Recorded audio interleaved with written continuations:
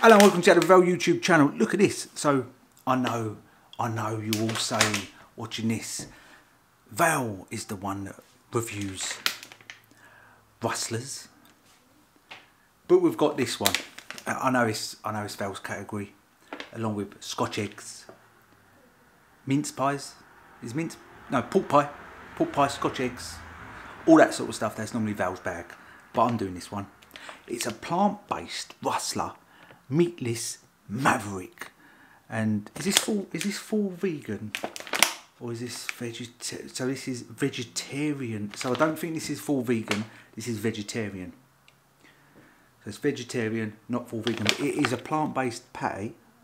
Maybe the cheese is the bit that's not um, vegan. Let me just see there. You might have to check that. Look, you know what I do? I'll put that there. Maybe you can pause the screen and decide for yourself whether this is for you with the diet needs that you want or it's not. So this was in Tesco's, I got this in Tesco's but I've seen this in Morrison, I don't know, 150, a quid. Same sort of price as the normal Rustlers. So it's a classic burger with cheese and our signature sauce, right there. I'm to do, back in the microwave, how long does this take? So this takes uh, microwave, one, one minute 30 seconds. Uh, heat, you know what, I don't think I've ever cooked one of these before. Pop bun in the toaster. Heat patty for 1 minute 30 second. Stand for 30 minutes. 30 seconds, 30 seconds. I'll be back in 2 minutes. I don't know how Val normally does his rustler reviews, but this is uncooked. This is it uncooked. It smells of just nothing really. So that's the patty. Quite a chunky burger there. There's the bun. There's a sesame seed bun. This is the, the Rustler's special sauce. And it's a bit of cheese. Back in two minutes. Right, so we're back. It's cooked there. Look at that. I've got the special sauce in there. I've got that bit of cheese. Just like that. Hello. Hello. Look at the goodness in that close up. Hello. Let's just go for a bite of this Maverick. Remember, I'm not the master at rustlers like Bowie's, but.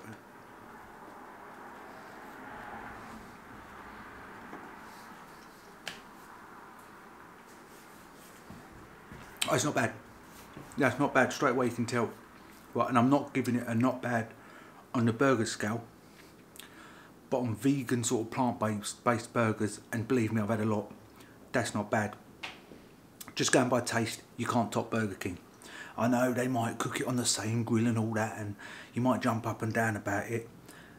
But if you do a blind taste test, you can't beat Burger King's plant-based burgers, in my opinion.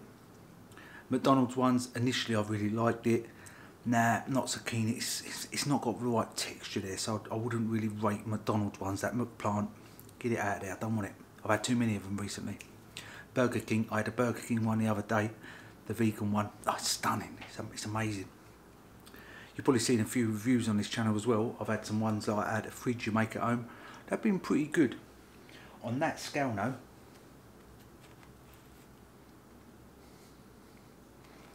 that's alright. That's not bad, I'm pleased with that. However, as this rustler as a whole, this bread's far too dry. I did toast it. This bread's far too dry. I need a lot more sauce. You need to pack this out. You want to put some lettuce on there. You want to put some mayonnaise in this. That's too dry. All I'm getting is bread. let's taste this burger on its own. A little bit of cheese there come for the ride.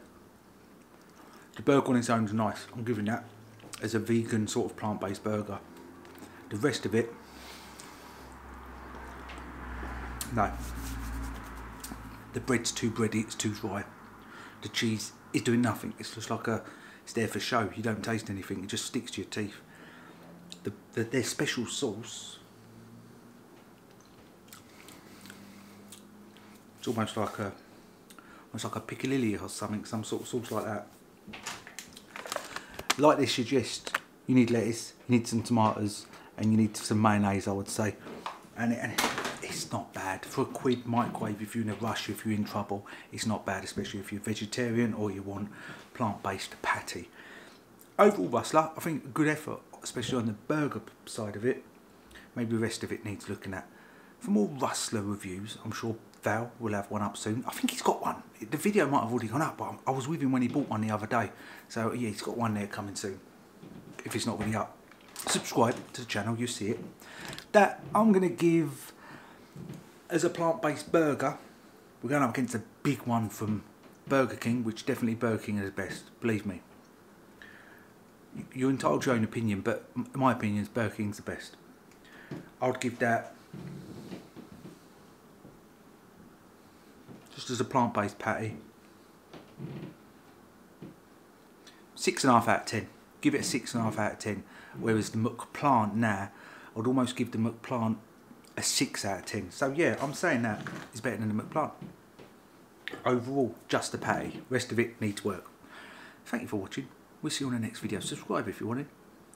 Rustler, if you want to send some of these out, maybe send one or two because they do last quite a while. What does that say? You're 24. I've got about 10 days left on that. I think Rustler should sponsor the channel. That would be in his element. I don't think he likes them though, does he? It's been a, it's been a long time since I, I watched one of his videos. And yeah, I don't think he likes them. That's my review on that. See you next time.